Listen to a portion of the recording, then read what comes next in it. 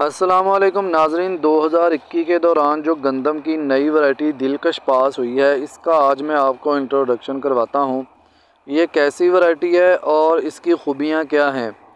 एक तो इसकी ख़ास खूबी ये है कि इसकी टिलरिंग कैपेसिटी बहुत ज़्यादा है, बड़ी पुरकशिश और बड़ी दिलकश लगती है। इसका नाम भी इसी वजह से रखा गया है कि ये बंदे को राज़ी कर देती है। शगुफ़े बनाने की सलाहियत बहुत ज़्यादा रखती है। दूसरी, इसकी ख़ास खूबी ये है कि ये हर मौसम में मुफीद है। खा आप अगेती लगा लें, दरमियानी लगा लें या लेट लगा लें, कोई इसका नुकसान नहीं है। इसका सिट्टा सफ़ेद है, पत्ते इसके चौड़े हैं।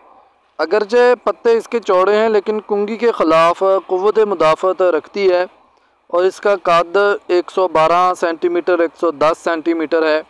इसके अंदर दाने ही दाने होते हैं। दाना इसका मोटा होता है।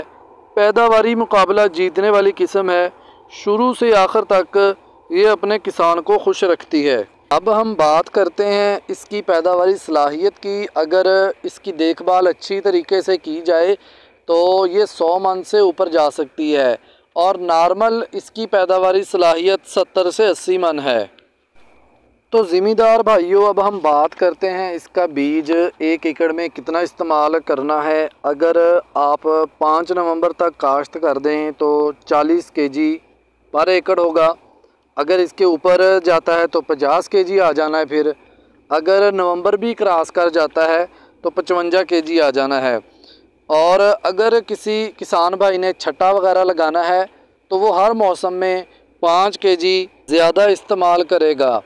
उम्मीद करता हूँ आपको मेरी वीडियो पसंद आई होगी। आप मुझे अगली वीडियो तक इजाज़त दीजिए। अल्लाह हाफिज़।